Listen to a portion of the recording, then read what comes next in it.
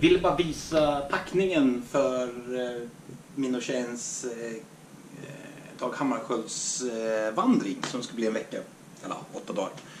Jag tänkte vi skulle gå upp på Kebnekaise också. Men jag tänkte börja först med, med min ryggsäck. Det är en Norrönan 85 liters. Tjejen kör med en Arteryx 65 liters. Det jag tycker är lite roligt med, jag har haft den här i rätt många år nu. Och det är en vanlig ryggsäck förutom den här lilla detaljen att, att midjebältet är ledat. Nackdelen är att det gnisslar lite grann. Men det är just det här att, att höften kan röra sig lite mer och sen läggs hela vikten där i mitten av ländryggen. Det är jäkligt skönt. Eh, jag kör all packning i ryggsäcken. Jag har ingenting på utsidan.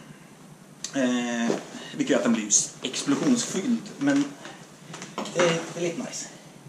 Så att jag tänkte, jag börjar att jobba mig igenom. Vi har liksom... Eh, det här är min sida.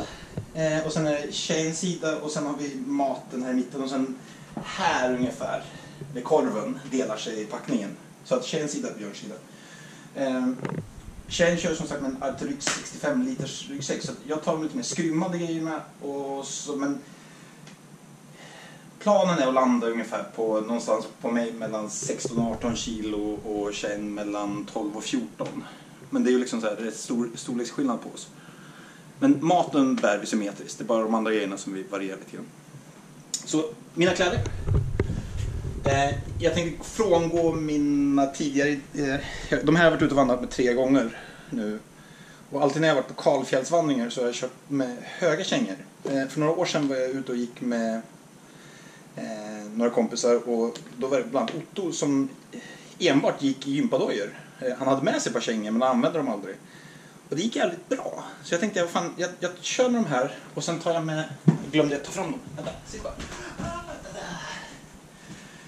Eh, för att testa Ottos idé så tar jag med som reservskor ett par sådana här superlätta Adidas eh, vadderade. Eh, helsyntet rakt igenom så om de blir blöta så torkar de typ på en kvart. Min förhoppning. Men nu säger väl prognosen att det ska vara ganska blött när vi ska gå och småregna varje dag i princip så att jag Och fan snö. vet om...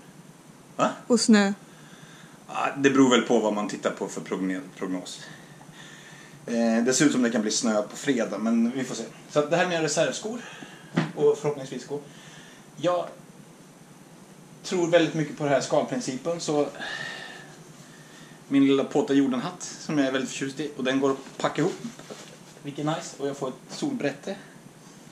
Eh, jag kör buff istället för halsduk. Och då bör man ju givetvis Star Wars. Eh, läderhandskar. Och sen eh, ett par tunna handskar under så att de här kan gå tillsammans om det blir riktigt kallt.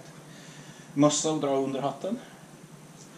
Eh, fem par eh, strumpor, fem par kalsonger, två par socker och eh, ett underställ.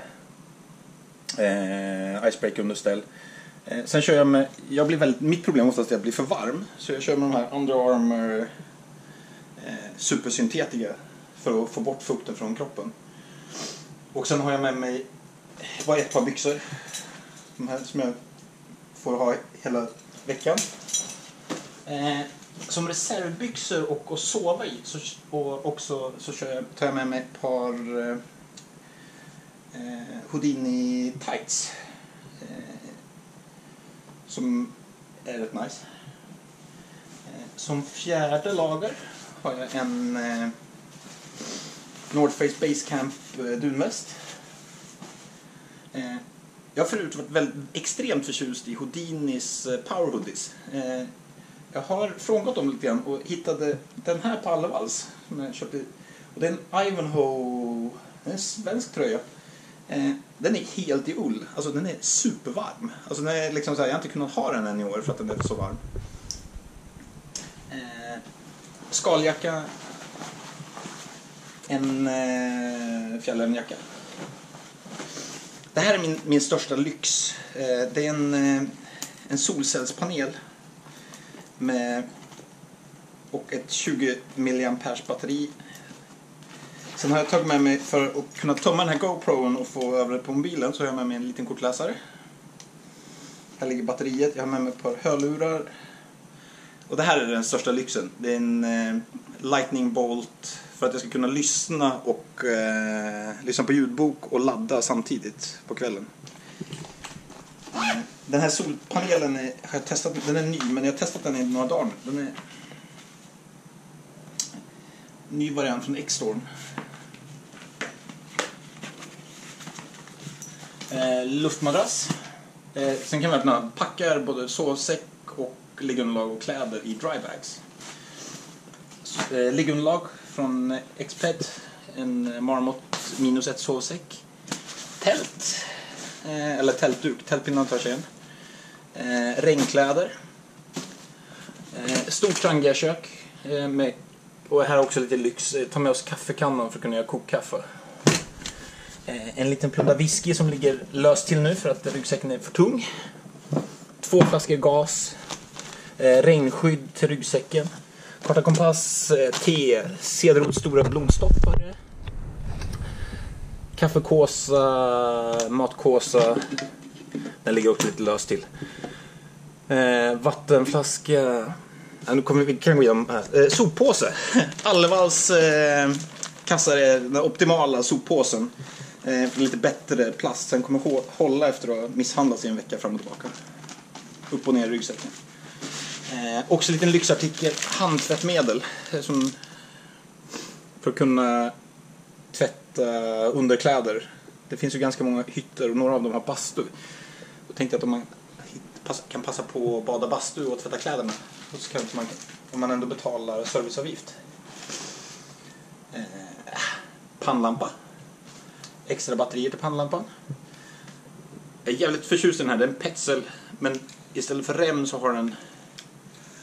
Den, den här kan man också dra runt saker. Det kan man ju med en vanlig också, men den blir väldigt liten.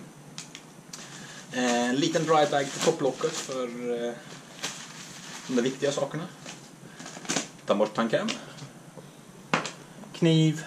En, mik- under, en sån här mikrofiberhandduk. Och ett väldigt välsorterat resapotek. Med allting från eh, nagelsax, Voltaren, eh, nässpray, första hjälpen-prylar i stort. Ja, det mesta. Det tar för lång tid att gå igenom. Men den här är... Någon gång ska jag göra en specifik liten lista bara på den här. Den här börjar bli ganska vältestad nu. Men mat! Och då... Eh, har eh, röstat för havregrynsgröt till frukost och den, jag testar den här. Det är otroligt bra och mättande. Så att en blandning torkade äpplen, havregryn och chiafrön. Men ska man ha med för två personer i åtta dagar, då blir det ganska mycket. Men å andra sidan, frukostar i stort väg så det här är faktiskt en, en viktbesparing. Så frukost. Lunch blir en varma koppen. En halv paket nudlar. Så vi har med oss åtta paket. 14 stycken varma koppar. Och eh, en sån här rågkaka. Det är åtta stycken i det här eh, totalt. Så en sån här med eh, mjukost. Eh, var Jan, jag var ute och vandrade med Janne förra året. Eh, Jan Aineli som gick från eh, Ystad till Stockholm.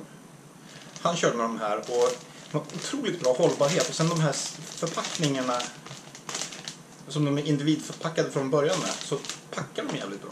Och överlever, och grovt bröd generellt överlever och misshandlas i en ryggsäck. De här kommer ju bli ihoptryckta upprepade gånger. Så att fibrer. Ehm, på lyx torkad frukt 200 gram och eh, det här är, eh, hur mycket är de här? 120 gram Ginger Chew. Från, de tar en stund att tugga sig igenom så de håller länge. Hur lång tid är jag på nu? Nio och en halv. Nio och en halv minut! My God! Eh, sju portioner eh, färdiga middagar. Och ett paket kokkaffe. Lämmel. Ska det vara. Och eh, sen två stycken såna här eh, spansk eh, salami torkad. Ligger också lite grann löst till eftersom den är väg och lyckas till. Så det är åtta dagar och sen då givetvis gånger två på allting. Som tjejens packning. I stort sett samma sak fast med extra tröja istället för extra skor vi har lite olika prioriteringar där. Tjejen har fötter av stål och jag har små känsliga tassar. Så det var det. Pakistan.